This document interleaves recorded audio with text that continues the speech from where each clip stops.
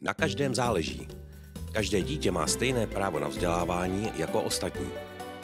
Vítejte u videa projektu Podpora rovných příležitostí, který realizuje Národní pedagogický institut České republiky.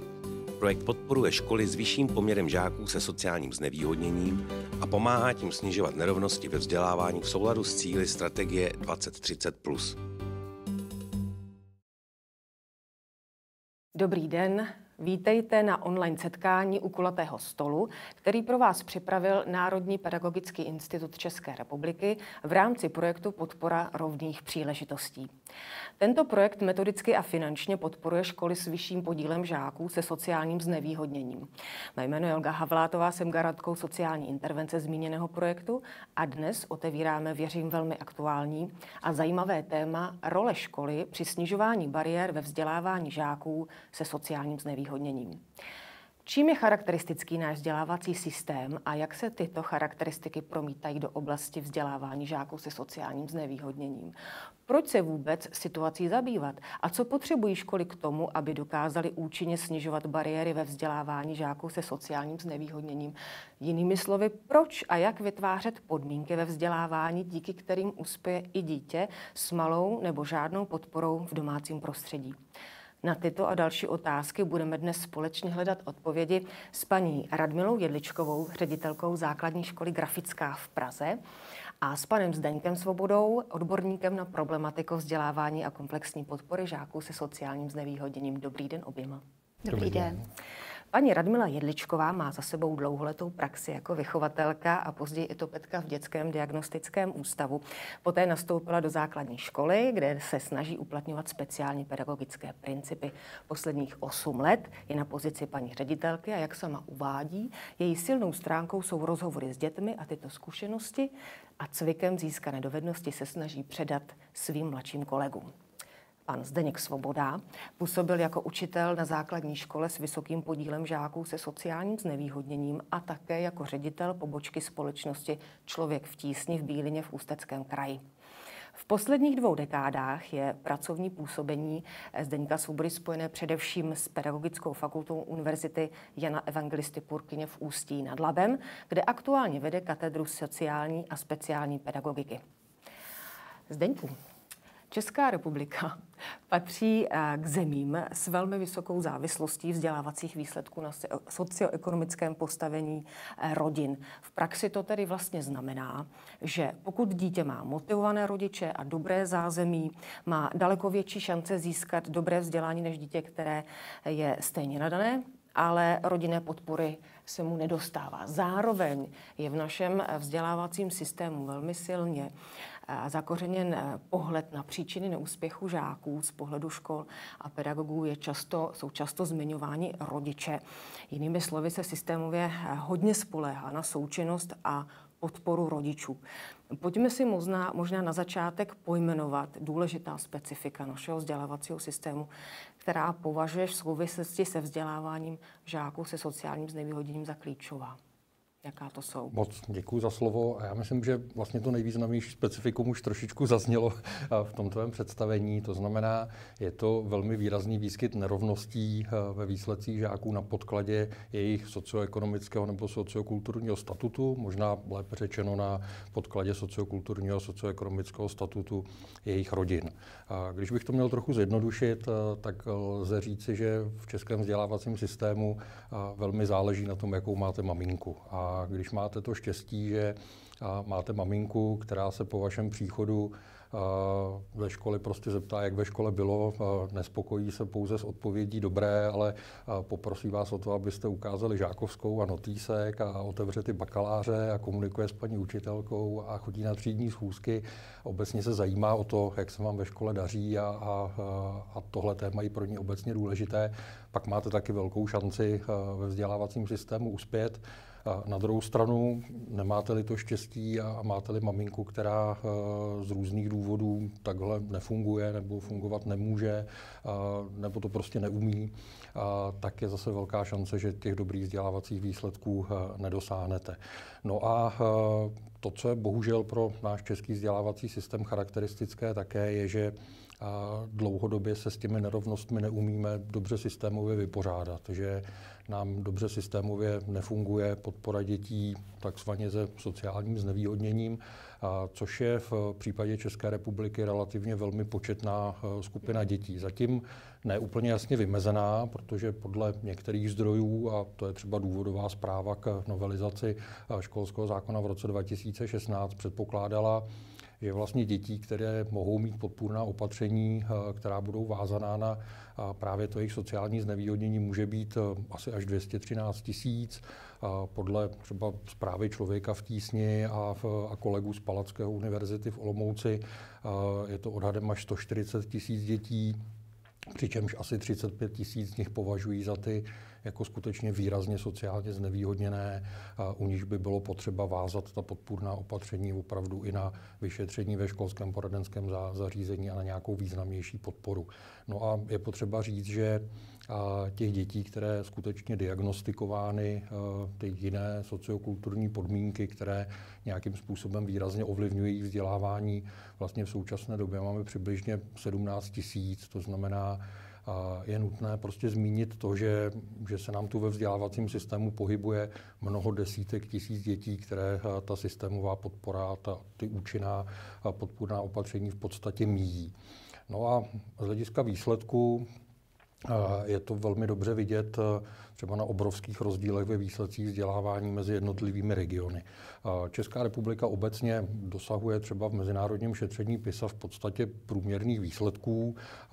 Ještě přesněji řečeno, jsme možná dokonce mírně nadprůměrní v případě matematické a přírodovědné gramotnosti, spíše trošku podprůměrní v té gramotnosti čtenářské, ale s trochu nadsázky řečeno, ten průměr v případě České republiky má hodnotu asi jako kdybychom si řekli, že jsme obědvali oba půlku kuřete, ale reálně to bylo tak, že jeden jsme snědl celý a, a druhý je hladový, a protože obecně je to dokonce tak, že třeba výsledky dětí v hlavním městě Praha jsou v podstatě tak dobré, že jsou srovnatelné s deseti nejlepšími evropskými zeměmi. Na druhé straně toho spektra jsou výsledky dětí v Ústeckém kraji, odkud pocházím, které jsou zase plně srovnatelné třeba s výsledky dětí v Rumunsku, v Kazachstánu nebo v Srbsku, to znamená mezi těmi poměrně velmi málo výkonnými vzdělávacími systémy. A, a ta vazba na, na sociální situaci v těch regionech, na, na míru zatížení problematikou sociálního vyloučení je, je naprosto zjevná. A, a myslím, že právě na příkladu Ústeckého kraje a, se to dá velmi dobře ukázat, protože a ta, ta obrovská sociální zátěž se vlastně projevuje úplně na všech eh, stupních vzdělávací soustavy od samotného počátku až po ten výstup. Pak máme v českém vzdělávacím systému také několik charakteristik, které jsou víceméně obecné, ale eh, lze říct, že, že vlastně data ukazují, že v tom českém vzdělávacím systému vlastně nikdo není úplně moc rád. Eh, že když se podíváme třeba na eh, důležité ukazatele, které se týkají wellbeingu žáků, tak zjistíme, že Česká republika je mezi jako čtvrtinou zemí, které mají neproblematičtější sociální klima na školách. Přibližně třetina dětí v České republice má obecně vzdělání spojené s nějakými nepříjemnými pocity. V podstatě říká, cítím se v tenzi kdykoliv, když se začnu učit, nebo třeba pomyslím na školu. A dokonce 20% dětí samo sebe považuje v tom vzdělávání za outsidera. A, a samozřejmě všechny tyhle ty charakteristiky jsou ještě o to víc zdůrazněné v tom segmentu dětí se sociálním znevýhodněním. Jeden z těch velmi problematických prvků klimatu na, na českých základních školách je taky velmi vysoký výskyt eh, šikany nebo obecně jakoby projevů v chování, které souvisí s tím, že vám někdo dělá něco, co je vám nepříjemné. Buď vás atakuje fyzicky, nebo, nebo se vám vysmívá, nebo vás ponižuje. A, a s touhletou velmi nepříznivou uh, zkušeností třeba v roce 2015 odcházelo z deváté třídy vlastně každé čtvrté dítě v téhle zemi. V roce 2018 už to dokonce podle pisy bylo skoro 30% dětí. A tak, jak si možná třeba na podkladě některé seriálové produkce výskyt čikany hodně třeba spojujeme s tím prostředím britských nebo amerických škol, tak je potřeba objektivně říci, že výskyt čikany v českých základních školách je horší, než je tomu ve Velké Británii nebo než je tomu ve Spojených státech. Je dokonce horší, než je tomu třeba v Turecku, je dokonce horší, než je tomu třeba v Kolumbii. To znamená, ta čísla jsou alarmující a je, je potřeba se jimi zabývat. To znamená, je zjevné, že minimálně významná část dětí se ve školním prostředí necítí dobře. A ba co víc, uvažuje taky o tom, jak se třeba v tom prostředí cítí jejich pedagogové. A PISA měří ještě jeden zajímavý index, kterému eh, se říká Index of Teachers Enthusiasm, který v podstatě eh, měří řekněme, pohled dětí na to, jak eh, jejich učitelé, jejich práce těší, jak jsou zapáleni pro svůj předmět, jestli taky třeba z pohledu dětí jejich učitele těší učit jejich třídu. A je samotné. No a je potřeba říct, že tady dosahujeme prakticky úplně nejhorších výsledků ze všech, ze všech těch zemí, které se šetření PISA zúčastňují, opět ve velmi silné vazbě na, na sociální statut dětí a zase zjednodušeně řečeno, české děti, zejména v tom sociálně znevýhodněném prostředí, si vlastně úplně ze všech těch měřených dětí na světě myslí, že jejich učitele, jejich práce tak trošku nebaví a, a že je vlastně ani moc nebaví učit je samotné. A uh, myslím, že není třeba zdůrazňovat, že uh, tenhle ten pohled dětí má taky velmi výraznou vazbu na to, a jak se třeba potom taky chtějí ve třídě chovat a jak dalece dodržují pravidla, které pan učitel nebo paní učitelka se snaží ve třídě nastavit.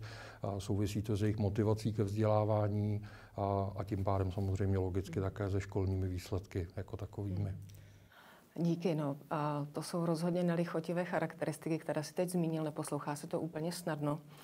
Vlastně si mluvili o tom, že už samotná příslušnost k určitému kraji významně ovlivňuje výsledky, jakých ty děti dosahují.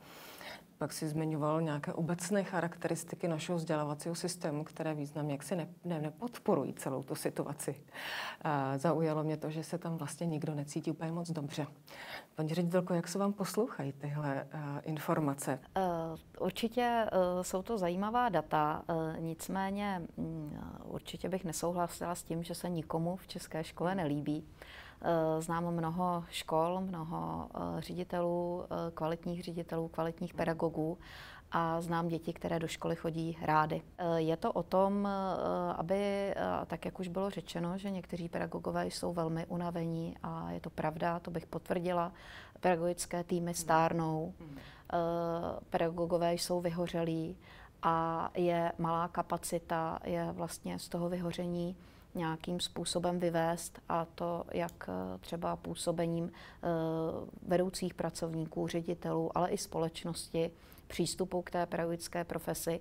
A mladých lidí nastupuje do školství velmi málo. Alespoň co můžu hovořit za hlavní město, tak eh, jsme vlastně v neustálém deficitu a v časté fluktuaci pedagogických pracovníků. A to ne z toho důvodu, že by se jim v práci nelíbilo, ale že je pro ně třeba práce příliš náročná. A to bych právě přišla k dětem, které potřebují větší podporu, které jsme označili za sociálně znevýhodněné nebo které jsou tak označeny. A vlastně uh, u nás běžně pedagogové pracují ve škole do 4 do 6 hodin odpoledne protože uh, ta příprava na výuku a uh, ty procesy všechny okolo jsou mnohem náročnější. Eh, napadá mě, že se vlastně teď hodně bavíme o nějaké motivaci pedagogů, o jejich spokojenosti a mluví to o tom, jak ta práce může být náročná. Na druhou stranu je asi nesmírně náročné motivovat děti, když sám motivován nejsem. Ale vy jste říkala, že se vám něco daří. A pojďme možná více popsat to, co třeba vy jako ředitelka školy považujete za, za zásadní při práci s pedagogickým sborem právě proto, abychom třeba předcházeli vyhoření, aby se těm pedagogům ta jejich jistě náročná práce dařila lépe. Hmm. Ono je to velmi provázané a já jsem ráda, že můžu eh, žáky naší školy a pedagogy vnímat všechny jako jeden tým. Eh, určitě některé věci eh, máme společné a nebo samozřejmě máme společné, ale snažíme se děti co nejvíc zainteresovat do chodu školy. Eh, můžu uvést příklad, kdy mi teď vlastně devátáci pomáhali vytvořit inzerát na to, abychom přijali nového pedagoga. A byla to vlastně velmi milá spolupráce a na druhou stranu já jsem ráda, že oni si uvědomují, že to vlastně není třeba tak jednoduché a že záleží na tom, koho přijmeme. Eh, já eh, bych řekla, že ten způsob práce, který je u nás ve škole, je zaměřen takovými třemi směry na pedagogy, na žáky a na rodiče. Co se týká pedagogů, tak máme představu o tom, že to finanční ohodnocení pedagogů není ideální, zvlášť co se týká opět Prahy, v porovnání s nájmy a s cenami bydlení, protože z tohoto důvodu nám odešlo ze školy mnoho mladých lidí ale snažíme se vytvářet jim takové prostředí, aby eh, se jim dobře pracovalo, aby měli dostatek eh, pomůcek, které potřebují, aby měli obligátní kávovar a sendvičovač, což jsou detaily, ale také potěší, eh, aby viděli, že si jich vedení všímá, takže i občas nějaký milý vzkaz, milý dopis, potkávání se se všemi pedagogy, minimálně jednou ročně u hodnotících pohovorů, supervize týmu, supervize individuální, supervize různých pracovišť. Teď třeba pro tenhle rok jsme měli supervizi pro pedagogy a asistenty, supervizi pro družinu, protože se nám sešly tři nové paní vychovatelky. Je potřeba, aby si nastavili společný systém práce a supervizi pro vedení školy, ale nabízíme supervizi i individuální, třeba pro začínající pedagogy. Já bych se možná ještě vrátila k tomu postoji vašich jako vašich pedagogických pracovníků. Na začátku jsme zmínili totiž to, že eh, eh, některé školy zmiňují, že je velmi problematické vytvářet takové podmínky. A pro děti, které přichází z podmínek, kde ta podpora ze strany rodičů je velmi nízká nebo malá. A mm, mě zajímá, vy jste zmiňovala spoustu už jako postupů, jo, jak, jak, jak na to jít konkrétně. Jak se odvíjel ten, eh, to vaše budování tady toho postoje s těmi pedagogickými pracovníky? Protože eh, často to bývá dost frustrující, že rodiče chceme, aby spolupracovali, potřebujeme, je to fajn. Ten druhou stranu, když tu eh, očekávanou podporu směřujeme jen do toho domácího prostředí, ta frustrace narůstá. Hmm. Jak jak jste k tomu dospívali? Přijali tohle myšlenku pedagogové hned? Byl to asi proces, tak jak to Byl to proces. Ten tým pedagogů se velmi obměnil.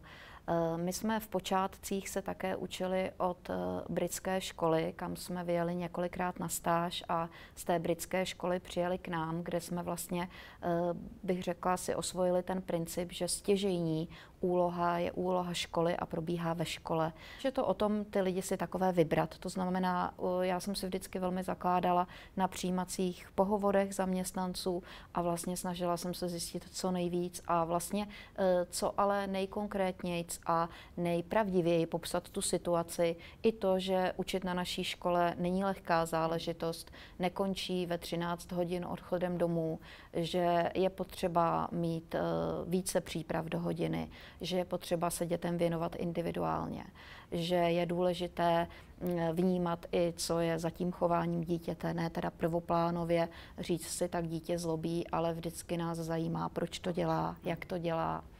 A některé věci mám i ošetřené, například lojalitu ke škole a vystupování tak, aby to bylo v souladu s naší vizí, eh, tak to je i součástí náplně práce, s kterou se zaměstnanec seznamuje a kterou podepisuje. Zdeňku, Bavili jsme se vlastně o překonávání nějakých překážek, o přesouvání té pozornosti od rodiny do toho školního prostředí. Pokud to jenom trošku jde, tak to vzdělávání směřovat do toho školního prostředí. Jak je asi důležité ten pohled na věc možná postupně měnit. A proč bychom to vlastně měli dělat? Proč bychom měli vůbec se, takhle se školami přemýšlet? Jaké to podle tebe může mít dopady?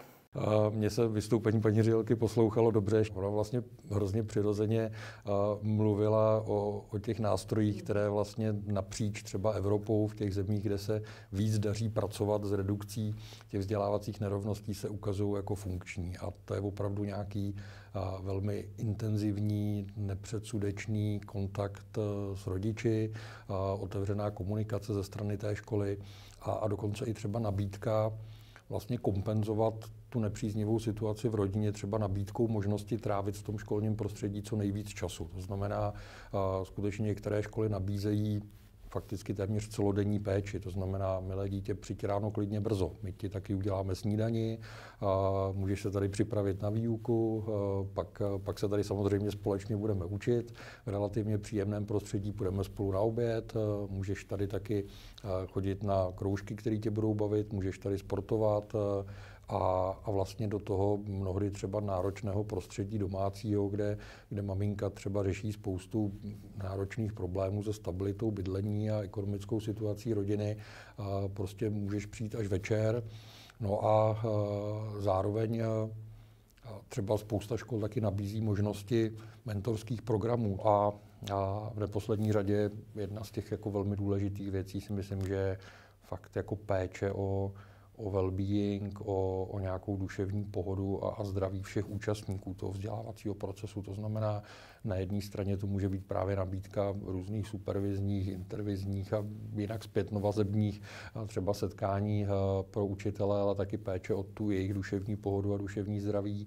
A a možná taky uvědomění si toho, že třeba život v sociálně vyloučené lokalitě je opravdu jako velmi náročný, je, je frustrující, je spojený s obrovským psychosociálním tlakem a, a že i to je něco, co pozici dětí ve škole prostě ovlivňuje, tak uh, zkusit taky nabídnout prostředí, které uh, je prostě příjemné, je, je přijímající, je, je pohodové a, a jsou to vlastně všechno věci, které paní ředitelka zmiňovala a, a je vlastně jako skvělý vidět, že jsou i v České republice školy, od kterých se prostě máme co učit, ze kterých taky můžeme generovat ty příklady dobré praxe pro to, jak vlastně systémově nastavit podporu školám, rodinám, dětem.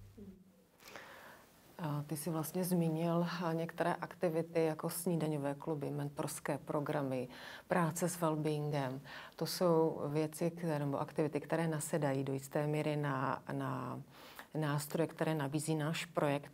A zmínil si snídaňové kluby. Já vím, že vy snídaňové kluby ve škole provozujete. A jaké jsou vaše první zkušenosti, paní ředitelko? Já bych se k tomu vrátila ještě trošku, nebo se snídaňovými kluby zpátky. Eh, já, i když máme poradenské pracoviště, kde máme sociálního pedagoga, speciální pedagogy, to znamená, že dneska ta naše péče eh, dokáže jít i dál, to znamená, že my Máme rodiny, kde nejenom, že žákům hradíme eh, obědy, družinu školy v přírodě, ale už jsme dvou rodinám pomohli vlastně k novému bydlení a tak dále. Máme opravdu velký přesah. Nedávno jsem jedné mamince našla práci u kolegy ředitele v jiné škole a velmi to vyřešilo její situaci. Takže to tam pořád funguje. Ale když eh, skončil covid, tak jsme měli právě pocit, že ten well-being u nás je, eh, že poklesl že eh, děti potřebují nějakou vzpruhu, že se odcizily, že nemají tak dobré vztahy. A vlastně jsme přemýšleli, co dál, protože eh, komunitní kruhy a kvalitní třídnické hodiny už u nás nějakou dobu fungují. Všichni třídní učitele prošli mm, studiem, jak vést eh, třídnické hodiny a tak mne napadlo, že bychom mohli dělat společné snídaně. A kolegové někteří začali dělat pravidelné snídaně. Jeden kolega dělal takzvaný brunch z deváťáky, vždycky odešli někam do přírody, tam teda měli nějaké to jídlo a zase se vrátili do školy. A když teda vlastně eh, se tady objevil projekt, kde byly snídaňové kluby, tak já jsem zajásala. Řekla jsem si tak prima, tak budeme pokračovat. A musím říct, že vlastně jsme už do toho nastoupili, takže víme co a jak. Víme, že to není jenom o tom, aby se děti najedly, že to je hodně o tom, že se mezi nimi vytváří vztahy a je to i o tom, že eh, ten den pěkně začnou a ve škole se cítí celkově dobře. Takže to chtělo čas a nějaký prostor. Já mám z toho vždycky velkou radost, když tohle slyším. Pomáhá nějak významně a, a fungování snídaňových klubů a vůbec jako řešení těch sociálních témat v vaší škole nějaká speciální pozice, která třeba tradičně nepatří do těch typicky pedagogických. Máte takovou nějakou na škole? My takovou pozici máme, nicméně já pořád zastávám názor, že se té oblasti musí věnovat úplně všichni, podle nějaké, eh, podle nějaké metodiky, kdy je jasné, kdo se čím kdy zabývá a případně kdo ho nahrazuje, když se tomu nemůže věnovat. A úplně klíčovou osobností je pořád a stále třídní učitel, který vlastně má největší šanci eh, k tomu děti poznat a většinou je to ten, komu se děti nejvíce svěřují. Ale máme u nás speciálního pedagoga, a teď z projektu adaptačního koordinátora a to je velmi důležitá pozice právě e, za prvé má na starost vedení snídaňových klubů, e, domlouvá s učiteli e, organizaci, ale potom se zabývá i dětmi, které nově přichází do školy, ať už jsou to dnes děti, které přichází z války, z Ukrajiny, ale děti, které přichází i třeba z jiné pražské školy a je potřeba, aby je někdo, aby je někdo uvedl. Hmm. Zdá se, že ta týmovost a společné sdílení nějakých hodnot na vaší škole je hodně důležitá, ale zřejmě nějaký hodně účinná. E, souvisí to hodně s tím, co si Zdeňku říkal, jak je důležité, aby ve škole byl silný lídr, který má nějakou vizi. A taková věc se asi nestane ze dne na den, chce to nějaký čas. No a, a my se pomalu blížíme ke konci a ty jsi mi trošku utekl z otázky. Tak já bych to naše povídání společně uzavřela možná znovu tou otázkou, proč je vlastně jako důležité pracovat na změně toho postoje nás, pedagogických pracovníků a škol v tom, čí je odpovědnost za vzdělávání žáků, proč bychom měli přesouvat co nejvíce zdrojů a strategií do prostředí školy, aby ty děti byly úspěšní, když doma ta podpora prostě je nízká nebo, nebo chybí. Zdeňku, proč? Já jsem osobně přesvědčený, že jeden z důvodů, proč se u nás zatím systémově úplně nedaří podpoře dětí se sociálním znevýhodněním, je ten, že e, spousta mechanismů podpory vlastně předpokládá nějakou aktivní participaci ze strany rodiny nebo maminky. Už třeba jenom to, že uh, chcete-li s dítětem přijít do, uh, do školského poradenského zařízení a projít tím vyšetřením, které uh, má zjistit, jestli potřebujete nějaká podpůrná opatření, tak už tady se vlastně očekává, že, že maminka je ta, která si domluví ten termín, ten stanovený termín tam s vámi přijde a, a vlastně pro děti se sociálním znevýhodněním je někdy jako symptomatické, že maminka to z různých důvodů nedělá nebo ne, no, nemůže dělat nebo nemá prostě na to kapacitu. A uh, vlastně je taky potřeba říct, že v České republice, byť se to možná nezdá, jsme pořád trošičku na začátku uh, v nějakém systémovém, dobrém systémovém uchopování podpory škol a, a v tom nastavování přemýšlení, že na straně školy jako může být ta, ta odborná kapacita, jak nerovnosti ve vzdělávání řešit, jak, jak řešit tu důležitou sociální úlohu školy a, a že k tomu taky škola může prostě využívat nějaké poměrně účinné nástroje. A ty si, Olgo, zmínila projekt, který, a, který v tuhle chvíli realizuje Národní pedagogický institut a, a je potřeba říct, že po mnoha letech a, vlastně poprvé tady došlo k situaci, kdy stát ústy ministerstva školství vlastně říká, a, milé školy, my pro vás máme nějaký důležitý úkol. My se vlastně vůbec poprvé vlastně intenzivně zabýváme tím, jak třeba identifikovat ty školy, které mají nadprůměrné zastoupení dětí se sociálním znevýhodněním. Říkáme, eh, my chceme, abyste o situaci těch dětí přemýšleli, abyste se snažili hledat cesty, které eh, zlepší jejich situaci.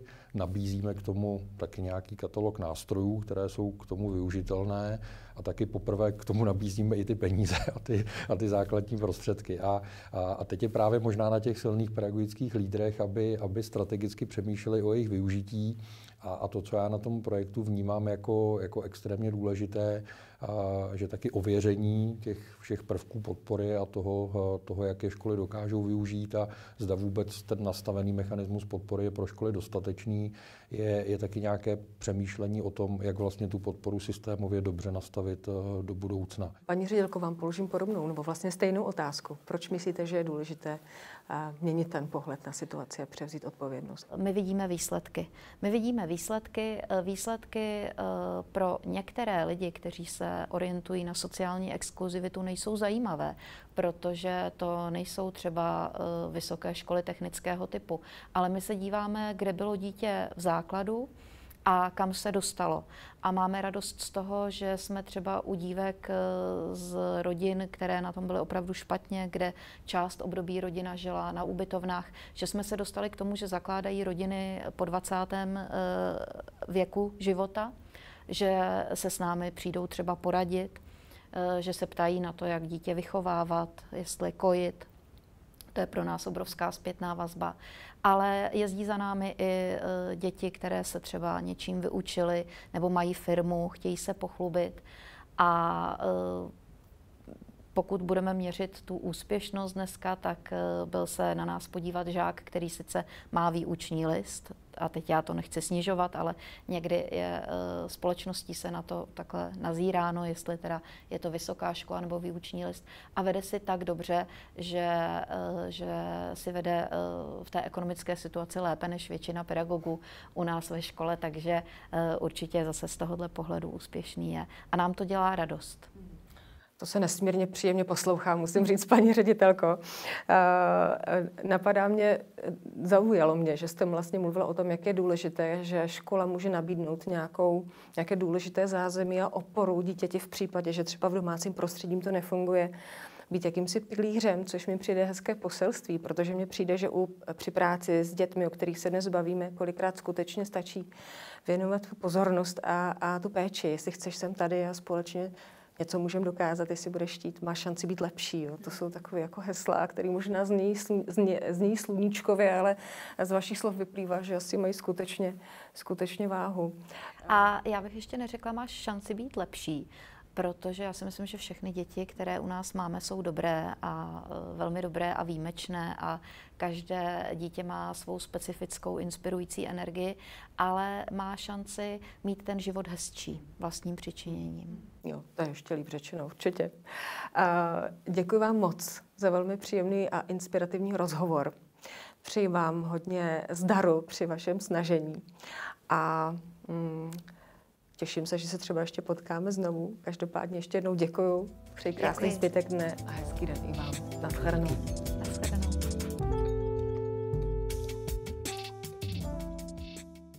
Toto video pro vás natočil Národní pedagogický institut České republiky. Projekt Podpora rovných příležitostí je financován z Next Generation EU.